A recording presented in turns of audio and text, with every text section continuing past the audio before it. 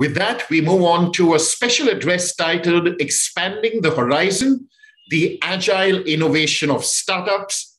And it's an honor and privilege to welcome and introduce Poyni Bhatt, Chief Executive Officer, Society for Innovation and Entrepreneurship at IIT Bombay. Poyni, over to you. Good afternoon, all of you. First of all, thank you very much for having me here. As a representative from the business incubator community, it is indeed a privilege to speak for startup at this summit.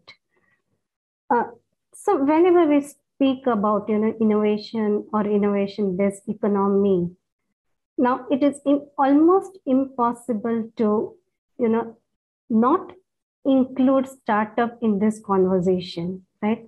Our, our technology business incubator was one of the very early incubators in an academic setup. Having started two decades back, we have supported almost 200 startups. And since then and now, like, you know, during this phase, our country has seen phenomenal growth of startup environment, startup ecosystem in the country. Yeah. From almost crash to becoming one of the leading nations globally, leading startup nations globally. So as it stands, India today is the third largest startup nation globally. Yeah. We also have a very, very active and supportive startup ecosystem where various stakeholders support entrepreneurship and startups. For example, government. Government was very, very early promoters of startup when startup was not even mainstream or buzzword in the country, government came out with various funding schemes and policies to promote entrepreneurship. Investors, now we have a very vibrant investing community willing to invest at every stage of startup cycle. Yeah, be it angel investors or be it seed capital or be it growth capital. Collectively, they ensure availability of capital at every stage of startup life cycle. Startup culture of startup, now it's just not limited to metro or bigger cities. Yeah, they have percolated down tier two and tier three towns and also at a district level. New startup hubs in tier two towns are emerging like Ahmedabad, Jaipur, Indore, Pune, Bhubaneswar, so on and so forth. Academia is becoming a hotspot for the startups. Yeah, young talents and uh, mature faculty expertise or researchers expertise together with you know technology resources on various academic campuses are combined to come out with the new ventures which are ip based ventures across many sectors most importantly, India also has a now very, very widespread digital infrastructures. Startups are dramatically altering life of ordinary people. The combination of technology and integrated solutions provides so much more with a single click.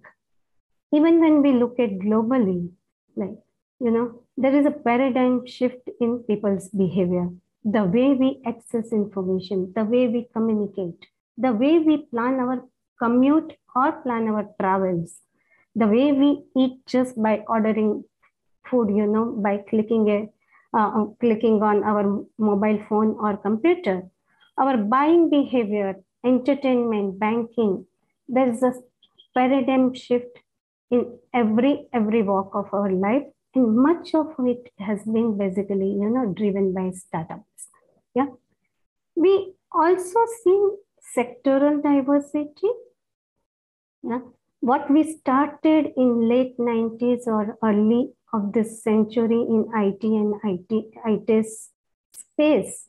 Yeah, now we start, uh, we see startup in pretty much every sector, every industry sector. Let me put this way. Yeah, deep tech, deep science companies are you know leading new waves of startup to solve much deeper solutions we have more than 100 unicorns in the country And we see startup IPOs also happening in the country. So the whole, whole basically, you know, environment, I think justify our position as a, you know, leading position as a startup nation.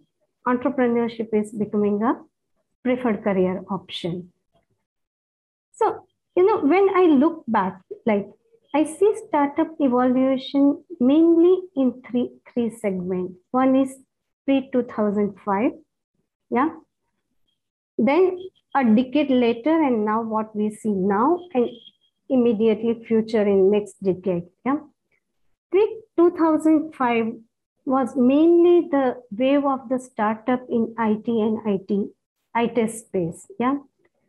Just open, it was then just opening of economy, liberalization, globalization, availability of human capital were the main driving force of entrepreneurship in those days. Combine that with like, you know, opportunities thrown by Y2K problems, a plethora of startups came in internet, dot-com, software services, BPO, KPO. Even you could see some of the, you know, first generation ventures coming in pharma space, also pharmaceutical space, mainly in generic drugs. Yeah. But during that phase, like, you know, IT giants like Infosys, Wipro, Genpact, or pharma large company like Dr. Reddy, Ranbaxy, they became a global, global names. However, they were mainly low on innovation. I mean, mainly low on technology innovation, but their innovation were mainly in business processes or business models. The next phase, I would say the next decade, actually saw the emergence of more innovative startups, innovation-based, technology-based, product-based startups, yeah? And also sectoral diversity basically widened during those days. We saw startup in education, clean tech, you know, energy, telecom, consumer internet, media and entertainment, fintech, robotics, industry IoT.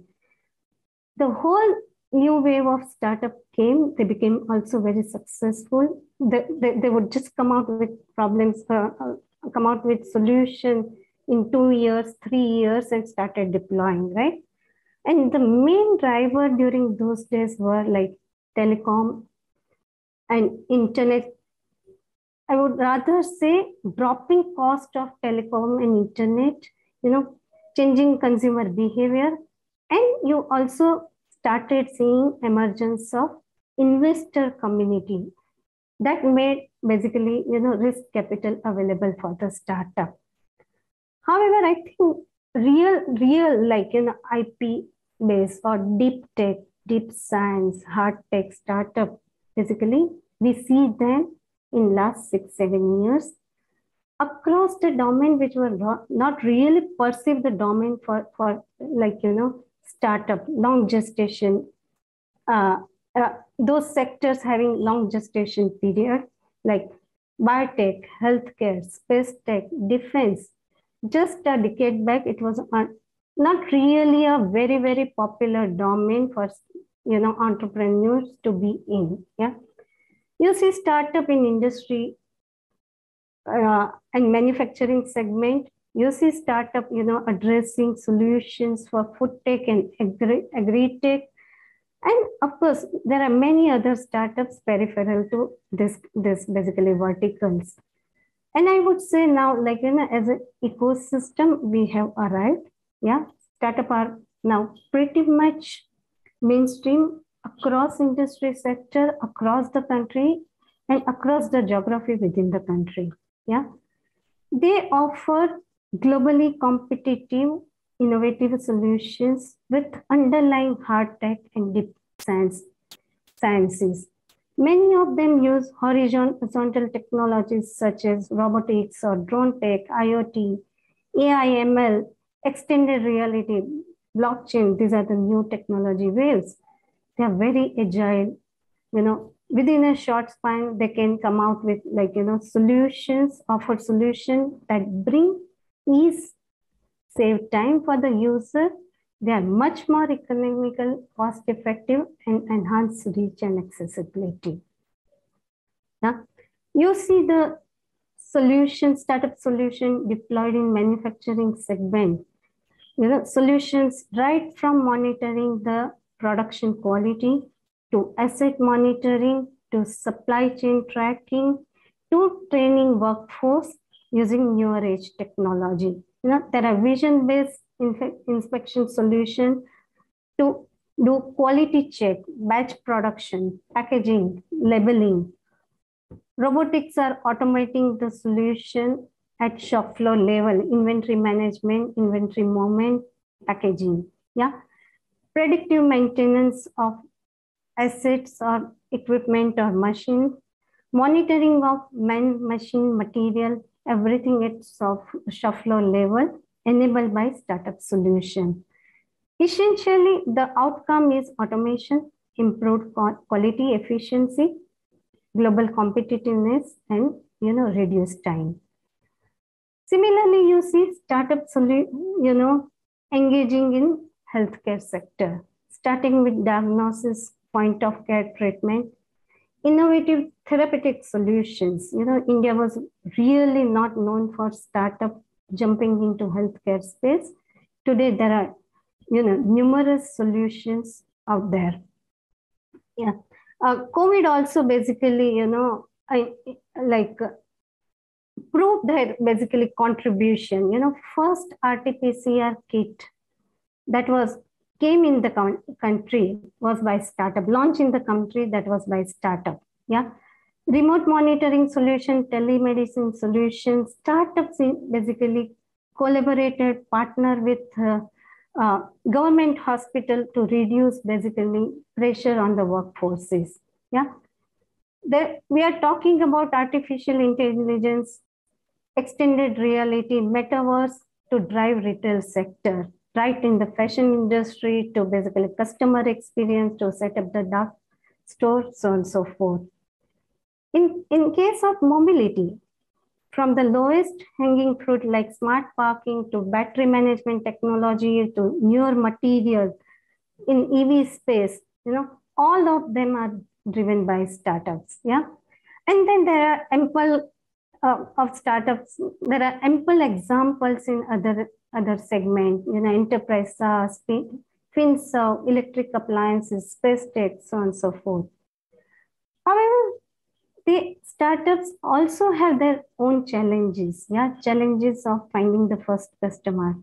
Challenges of you know rap rapid innovation adoption by user and businesses alike.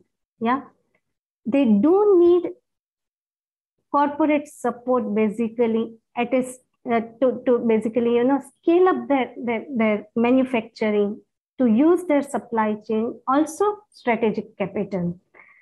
So just to conclude, you know, if we want to achieve our economic goal, we need the amalgamation of agility of startup, availability of capital, and corporate participation in scaling them. Thank you very much for your time and attention. Ladies and gentlemen, that was Poyni Bhatt, Chief Executive Officer, Society for Innovation and Entrepreneurship at IIT Bombay, with the special address titled Expanding the Horizon The Agile Innovation of Startups. Thank you very much for your special address, ma'am. Do stay tuned in. We will be back on the other side with the leader's view on dynamic innovations, future of urban infrastructure.